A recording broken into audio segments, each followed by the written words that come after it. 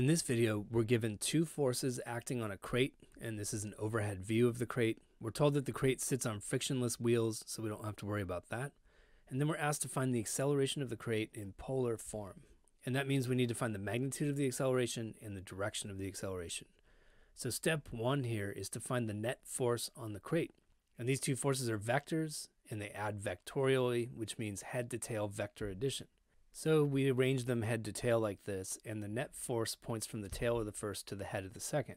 Now we can find the magnitude of the net force by using the Pythagorean theorem. So the sum of the squares of the legs is equal to the square of the hypotenuse. The first thing I'll usually write down is I'll go ahead and square root that and solve for the hypotenuse. So the hypotenuse is the square root of the sum of the squares of the legs.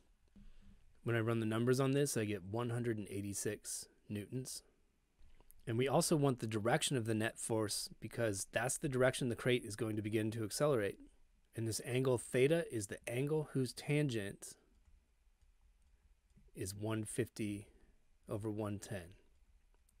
So that's actually how you say the inverse tangent function. The angle whose tangent is this opposite over adjacent 150 over 110. And I get 53.7 degrees for this.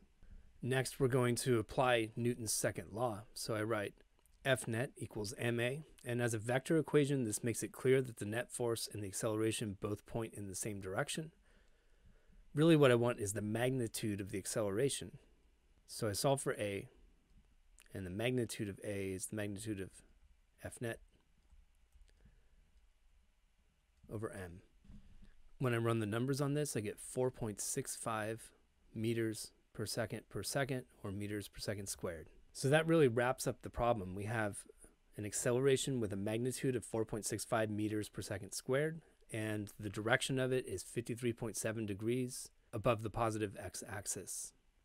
And when I give the magnitude and direction of a vector, that's the polar form. So there's our answer. If you find the physics content on Zak's Lab helpful, click on the Zak's Lab logo on the right to browse playlists and subscribe to the channel. I produce over 100 new videos per month, and subscribing is the easiest way to find new content. Thanks for watching.